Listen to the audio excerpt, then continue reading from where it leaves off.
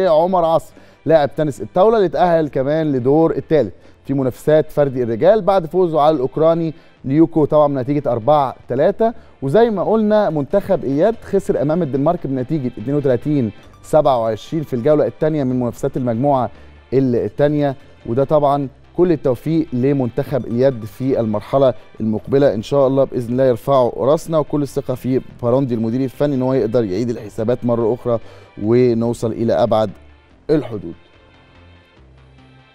ومن كرة اليد نروح للنرويجي مختلط الريشة طبعا الطائرة وخسر الثنائي أدهم حاتم وضحى هاني مباراتهم الثالثة والأخيرة أمام الفريق الهولندي 2-0 بنتائج 21 9 و21 4 أمام ندى حافظ لاعبه سلاح سيف المبارزة فودعت طبعا المنافسات بعد الخسارة أمام الكورية الجنوبية جون كيم بنتيجة 15 4 في دور ال 32 وكمان ودع محمد حسن لاعب سلاح الشيش المنافسات بعد الخسارة أمام إيطاليا لإيطاليا عفوا دانيال جاروزو في دور ال 32 نتيجه 15 6 ولسه كمان مع منافسات الشيش ودع علاء أبو القاسم ومحمد حمزة المنافسات في ربع النهائي أمام الياباني تاكيهيرو تشيكيني والتشيكي ألكسندر تشوبينيتش.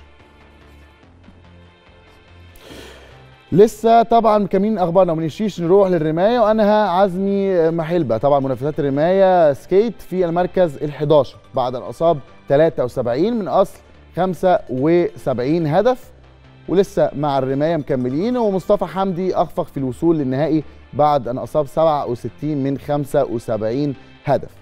أما الثنائي هادية حسني وضحى هاني ودعوا منافسات زوجي طبعا سيدات الريشة الطايرة بعد الخسارة في الجولة الثانية من دور المجموعات أمام الثنائي الهولندي تشيرل ساينن وسيلينا بيك طبعا بشوطين دون رد.